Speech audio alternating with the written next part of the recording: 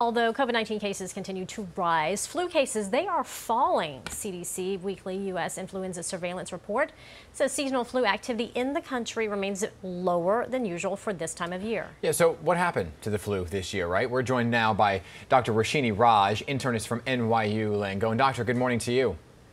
Good morning. Good morning. And so I think yeah, a lot of people are wondering why, sorry to cut you off, why are we seeing a decrease in flu this year? Yeah, this is the, you know, if there is any silver lining to this terrible, terrible pandemic, it is this decrease, dramatic decrease in the number of flu cases and flu hospitalizations. And why it's so good that that's happening is hospitals, as you know, throughout the country, many are at capacity in terms of ICU beds, in terms of regular beds. So the last thing we could really handle right now are you know would be a surge of flu mm-hmm. cases. Mm-hmm. So thank goodness we're not seeing the numbers that we normally see, and that really is due to the measures that everyone's taking: social distancing, wearing masks, you know, hand hygiene, right. not traveling as much as people normally do, because the flu is a virus just like COVID-19. It's contagious, and if you are doing those social distancing measures, you are going to see a drop, which is what we're seeing. Are we also seeing that drop because more people got their flu vaccine this year, just in uh, you know, out of an abundance of precaution? Absolutely, yes. So about 2 million more doses of the flu vaccine were given out this year than we normally see. And, you know, I always encourage, I always get the flu shot myself, but I always encourage my patients to do it. But this year, more than ever, I've been really encouraging them, as many doctors are, because again, we know there's an issue with hospital capacity. If you do get the flu and you end up needing to go to the hospital, you know, there may not be a bed or you might not get the care right. that you normally would. So it's so important. The other thing is flu symptoms and COVID symptoms, very similar. So you don't want to be in this confusing picture where you're having symptoms, you're not sure if it's flu or COVID, or worst case scenario, you get both at the same time. Right. You're oh, much, much higher risk of dying if that's if that's the case. Yeah. So there was also some interesting data that came out from the CDC that had some speculating, and this had, this was talked about in the beginning, right? That COVID-19 is more contagious than the flu. Fact or fiction here? That is true. Yeah, COVID 19 is more contagious, especially in certain populations. And you're going to see more of these uh, super spreading events, quote unquote, which we really don't see, if you recall, over many years. We really haven't heard of that with the flu. So part of it is with COVID 19, you have a longer period where someone has no symptoms. So that's more time for them to spread it to other people mm. before mm. they feel sick. And just in general, the virus itself does seem to be more contagious and we know in certain populations could be more deadly as right. well. Well, the problem, though, is they have some similarities, right, uh, when it comes to some of the symptoms of it. Does COVID 19, well, we've heard that COVID 19 can cause you to lose your sense of smell and taste. Is that true for the flu as well? No, and that's a great point. That is actually one distinguishing factor between the two. All the other things, runny nose, sore throat, cough, really fever, could be either. But the loss of taste and the loss of smell is something that really does not happen with the flu. Mm-hmm. I mean, loss of smell, maybe if you have a very congested nose, but in general, that's much more likely to be COVID than right. the seasonal flu. Yeah, um, although flu numbers are down, you're saying now that other numbers have the potential to rise here. So, what are we talking about?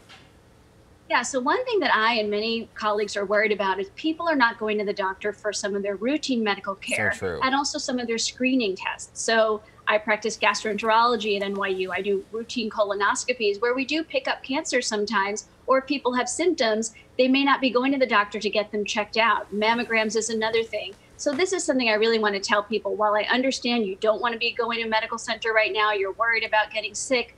You know, if you're having any symptoms or you're worried about something or you have family history and it's time for you to get your screening check, whether that's for breast cancer, colon cancer, heart health, definitely go to the doctor. Yeah, We're all point. in the medical center taking precautions to keep you safe, but you don't want to delay something and end up having a worse situation later on because you waited too long. It's right. such a good point. And you know, just just in a full disclosure, I've been a little nervous to go to the dentist, right? So because you're you're so up close and personal with your mouth wide open here. so mm-hmm. is there a fear there? You're 100% right. And by the way, I've also been a little bit fearful to go to the dentist, but this is where the vaccine comes in. Yeah. And this is why it's so important that healthcare workers and eventually everyone get the vaccine because yeah, it is scary when you're, you know, opening up your mouth to another person who's been interacting with many. By this point, hopefully many of the dentists out there have been vaccinated, mm. at least with their first dose, hopefully their second. And I'm I just got my vaccine, uh, the second dose a few days ago. So as soon as I feel like that's kicked in, which will really be in a week or two, I'm going to the dentist because, again, you don't want to neglect the rest of your health out totally. of fear of COVID. Did you have any um, side effects from that? I did not. You know, the only thing I had was the sore arm, which I get with my flu shot every year Yeah. for, for about a day. Okay. Um, I didn't have anything else. But, you know, there will be a certain percentage of people wh- who will have some side effects, things like a fever or maybe even some body aches. But, you know, one, one researcher told me, and I thought this was really interesting, that's actually a sign that the vaccine is working, that your Ah. body is mounting that immune response. Oh, that's, okay. that's exactly what you want. So even if you get those side effects, be grateful, be thankful. That means your body's responding. And overall, I'm so grateful that I had the opportunity to get the vaccine. All the researchers, the scientists, the volunteers, mm-hmm. everyone involved, even with the logistical layout, with Yeah. rollout, which we know has been somewhat problematic. But if you're lucky enough to have the opportunity to get the vaccine, please do go Grab get it. All right, I want to bring in Ben right now because he's got a question for you. you know, I, I usually have 17 colds by this point, you know, during throughout the year. And you talked about the flu because people are being socially distant, hopefully, and wearing masks and not getting these colds and flu. Is that going to lower their immunity? Is that going to lower hmm. their ability to fight off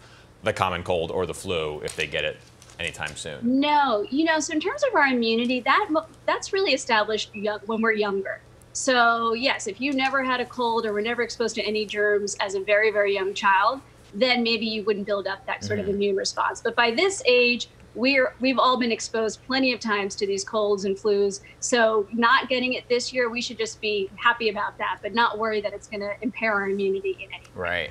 I hope my grandma Rose, who's 90 plus, was listening to you because she she got the vaccine yesterday and she was complaining about a Oh, sore arm and she was worried about the sore arm and I was like, it's completely normal. Yes. Say it loud for Grandma Rose. That's your body doing the right thing. Dr. Raj, appreciate you and your expertise this morning. Appreciate it. Thank you. Take care. Stay safe.